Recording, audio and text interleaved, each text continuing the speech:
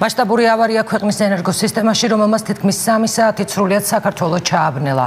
მთელი დღის განმავლობაში ქვეყნის მოსახლეობა იმპორტირებულ ელექტროენერგიას მოიხმარდა. თუმცა ამ დროისთვის ქვეყნის ენერგოსისტემა ჩვეულ რეჟიმში მუშაობს.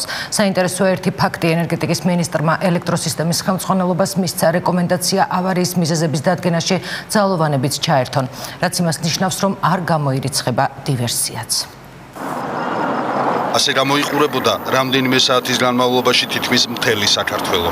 ელექტრომომარაგების შეზღუდვის მიზეზი 500 და 220 კილოვატიანი ელექტროგადამცემი ხაზების იმერეთი და კოლხიდაურის ავარიულად გათიშვა იყო. დაზიანდა პალიასტომი ერთიც. და მიზეზით მოხდა გათიშვა ამის დადგენას სამართალდამცველები შეეცდებიან. შეგვიძლია ვთქვათ, რომ ეს ტექნიკური დაზიანება იყო, თუმცა კიდე ერთხელ მინდა გამოცხადო, რომ ყველა ეჭვი იმისთვის, რომ ყველა ეჭვი გამორიცხული იყოს, ეს გამოძიება უნდა ჩატარდეს თავიდან ბოლომდე და ამისთვის ჩვენ მზად ვართ.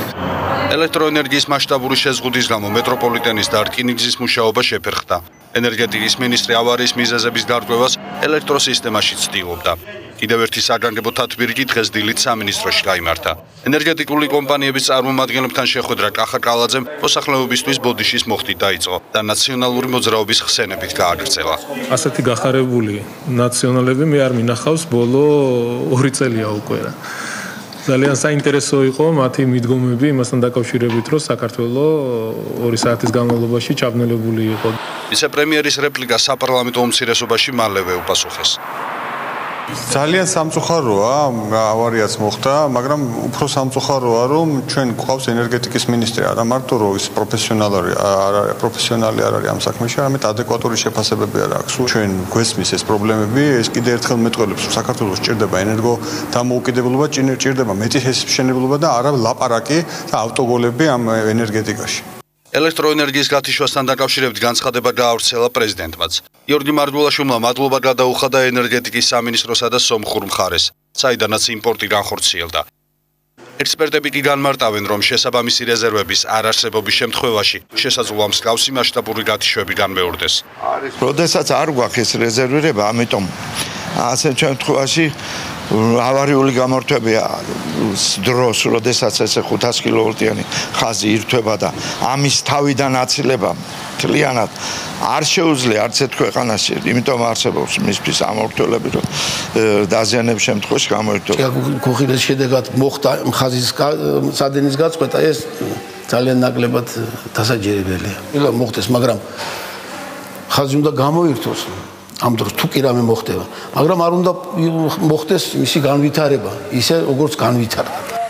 ამ დროისთვის საქართველოს ენერგოსისტემა ჩვეულ რეჟიმში მუშაობს. ელექტროსისტემის ინფორმაციით შეწყდა ელექტროენერგიის იმპორტი სომხეთიდან და თურქეთიდან. ახალ მთავარი ამბების კითხვებს ვიცე-პრემიერი და ენერგეტიკის მინისტრი კახა კალაძე უპასუხებს საღამოშიდობისა ბატონ კახა დიდი მადლობა რომ ხართ ჩვენი სტუმარი. ბატონ კახა პირველ რიგში გასაგებია რომ ელექტროსისტემაში მოგვარდა პრობლემები და მოდით ოდნა მოგვიანებით ვისაუბროთ. მე მინდა საუბარი დავიწყოთ დღის მთავარ პოლიტიკურ თემაზე. ეს არის მიხელ სააკაშვილისთვის და მისი მაღალჩინოსნებისთვის ბრალის წაყენება. ეს არის პირველი ბრალი რომელიც ექს-პრეზიდენტს წაუყენეს. თქვენ როგორ შეაფასებდით ამ მოვლენას ძალიან მძიმე ბრალდება, რომელიც პროკურატურამ წაუყენა ყოფილ პრეზიდენტს მიხეილ სააკაშვილს და ჩვენ თუ გადავხედავთ სულ რაღაც 2 წლის წინ რა ხდებოდა ქვეყანაში, ძალიან კარგად დავინახავთ თუ რამ მდგომარეობაში უწევდა ჩვენი ქვეყნის მოსახლეობას ცხოვრება 2003 წლიდან. მართლა ძალიან მძიმე იყო ის ვითარება, ის პირობები, რომელიც ქვეყანაში იყო და ჩვენ კარგად გვახსოვს ყველას თუ როგორ უსწორდებოდნენ განსხვავებული აზრის მქონე ადამიანებს, განსხვავებული პოლიტიკური შეხედულების მქონე ადამიანებს.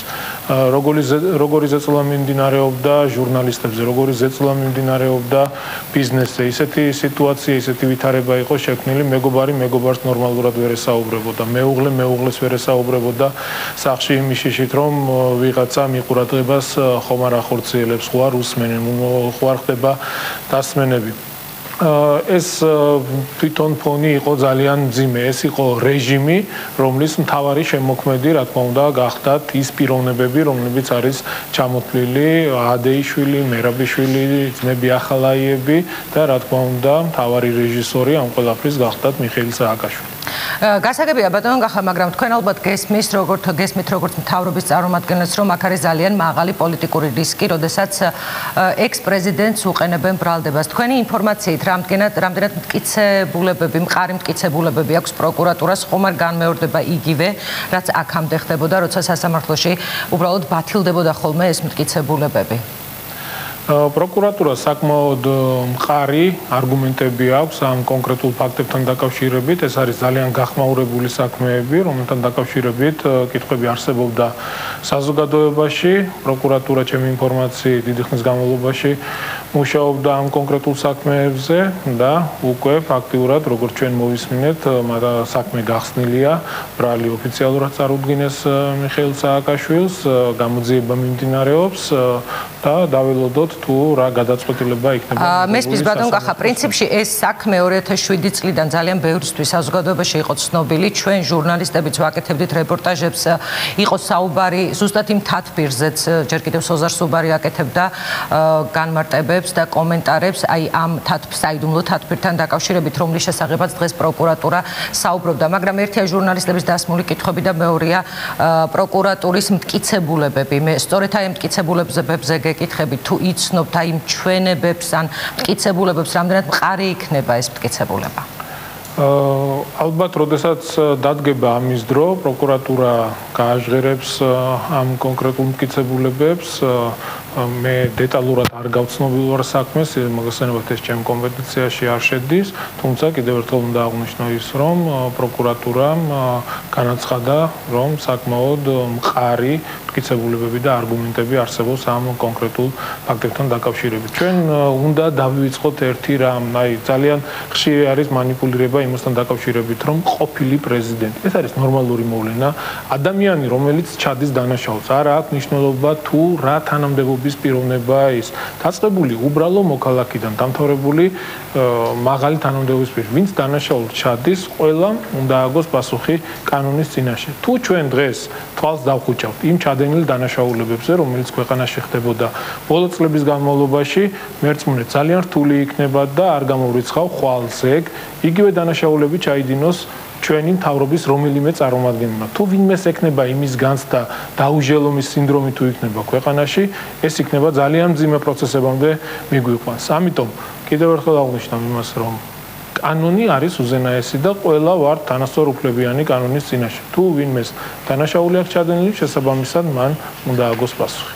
თუმცა მე ისიც უნდა გაგახსენოთ რომ როდესაც ჩამოდიან ჩვენი დასავლელი პარტნიორები ძალიან ხშირად ისინი მთავრობას ახსენებენ რომ იყვნენ ძალიან ფრთხილად პოლიტიკურ ფიგურებთან დაკავშირებით როცა იყვნენ დაკავებულნი და არიან დაკავებული პოლიტიკური ფიგურები ძალიან ხშირად იყო იმაზე საუბარი რომ ისინი ფრთხილად ადევნებენ თვალს აი ამ პოლიტიკურ პროცესებს. მე ეს მაინტერესებს რამდენად არგუმენტირებულ პასუხს გასცემს ამას ხელისუფლება ძალიან მნიშვნელოვანია, ძალიან მნიშვნელოვანია ის, რომ ყველა ეს პროცესი, საგამოძიებრო პროცესები იყოს გამჭირვალე და ყველა იმ ადამიანს, ყველა იმ მსხვილ ჩვენ პარტნიორი ქვეყნებიდან ექნება სურვილი იყოს ჩართული, ამის პრობლემა არ არსებობს.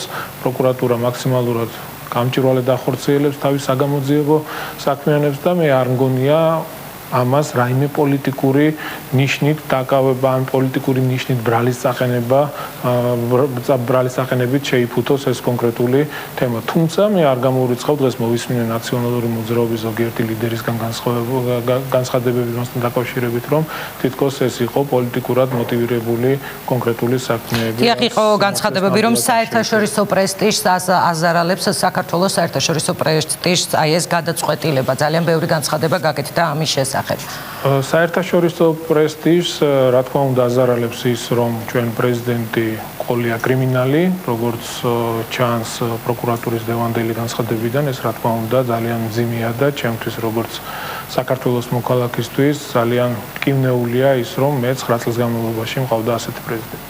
მესმის თქვენი, მაგრამ ერთია ბრალდება, მეორე სასამართლოს გადაწყვეტილება და კიდევ ერთი კითხვა ამ თემაზე.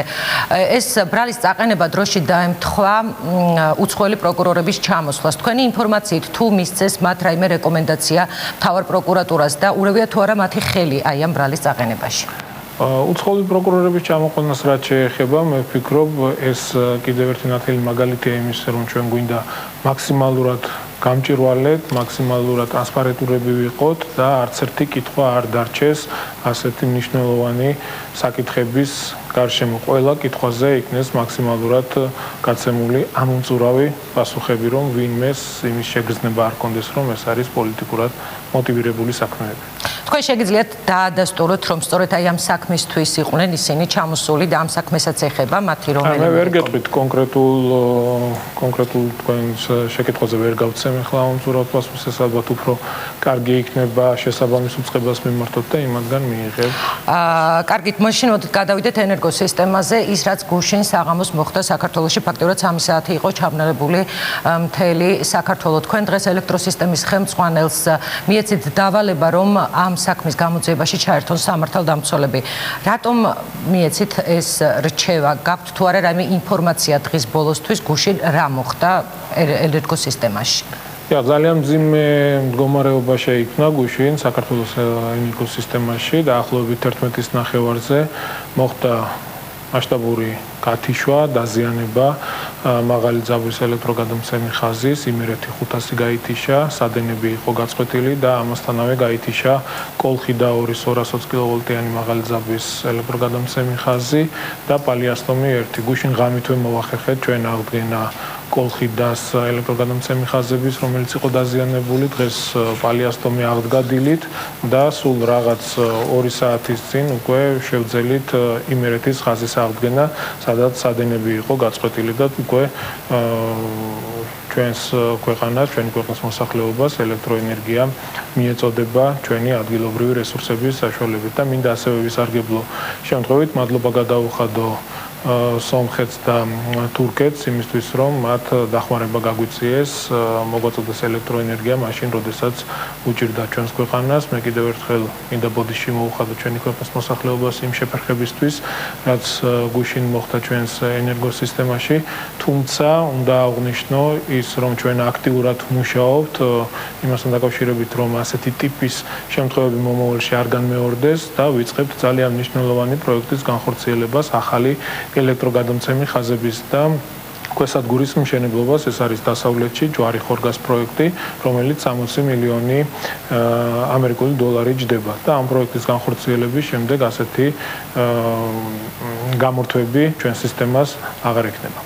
ბატონ კახა მე მაინც ვერ მოვისმინე პასუხი. თქვენ თუ გაქვთ რაიმე ინფორმაცია ეს იყო სტიქია ჩვეულებრივი სტიქია რომელიც არც თუ ისჩვიათია საქართველოსში თუ ეს იყო რამე დივერსია მე დღეს ბატონ ზუმბურიძეს ელექტროსისტემის ხელმძღვანელს თხოვე რომ ჩართოს საგამოძიო უწყებები, სამართალდამცავი ორგანოები, რომ მაინც ყველა ასე ვთქვათ, კითხვაზე იქნეს პასუხი გაცემული, კონკრეტულად გაგვეგო თუ რა იყო ამ სადენების გაწყვეტის მიზეზი. თუმცა გვაქვს ინფორმაცია, რომ ეს ყველაფერი გამოწვეული იყო ძლიერი ჭექაქუხილის გამო. მიმდინარეობს გამოძიება, შესწავლა კიდევ დეტალურად და ალბათ ხვალისთვის უკვე კონკრეტულად გვეცოდინება რეალური მიზეზი. ანუ ეს იმას ნიშნავს, რომ თუ ჭექაქოხილი გაგრძელდება, შესაძლოა იგივე მდგომარეობაში აღმოჩნდეს, ანუ არსებობს თუ არა რამე სარეზერვო სისტემა, როცა აი ასეთ პერიოდში შეიძლება რომ მიეშველოს ენერგოსისტემას უბრალოდ. ამ კონკრეტულ ხასთან დაკავშირებით გვაქვს ეს სერიოზული პრობლემა, თუმცა უნდა აღვნიშნო ის, რომ დღის განმავლობაში იყო ანალოგიური შემთხვევა, როდესაც გაითიშა ეს კონკრეტული ხაზი არ იყო სადენები გაწყვეტილი და ძალიან კარგად იმუშავა ავტომატურმა ამრთველებმა და ამ ხაზის გათიშვის გამო არ მოხდა სრულიად საქართველოს გათიშვა. თუმცა ანალოგიური განმეორდა 11-ის ნახევარზე საღამოს, როდესაც უკვე მთელი საქართველო გაითიშა და მე ზუსტად ამიტომ თქვი, ჩვენ ვიწყებთ ძალიან მნიშვნელოვანი პროექტის განხორციელებას. ეს ჩვენი ენერგოსისტემისთვის არის ერთ-ერთი სუსტი წერტილი კონკრეტული იმერეთის 500 კილოვოლტიანი ხაზი ხაზი, რადგან ამ ხაზის გათიშვა იწვევს ძალიან დიდ რყევებს ენერგოსისტემაში. ამიტომ პროექტს, რომელსაც 2014 წელს ვიწყებთ განხორციელებას, 2016-ში დასრულებული იქნება და ამგვარი პრობლემები არ ექნება სისტემას. ანუ 2016 წლამდე კიდევ არის შესაძლებელი რომ აი ასეთი რამ განმეორდეს. ძალიან რთულია პრევენცია გააკეთო, ან წინასწარ გაიგო თუ რა მოხდება ხვალ ენერგოსისტემაში და ზოგადად ცხოვრებაშიც ძალიან რთულია ისაუბროთ თუ რა იქნება ხვალ ზეგ. ამიტომ ანუ უნდა ვინატროთ რომ ჭექაქოხელი არ იყოს. არა, მარტო ჭექაქოხელზე არ არის გამოკიდებული, თუნდაც სისტემაში, აი მაგალითად გუშინ ადგილობრივ მოსახლეობასთან, როდესაც იყო საუბარი, ისინი საუბრობდნენ ძალიან ძლიერ ჭექა კუხილზე და ჩვენი ვარაუდით ეს იყო მეხის დაცემა და ამან გამოიწვია ამ ელექტროსადენების დაზიანება და გაწყვეტა.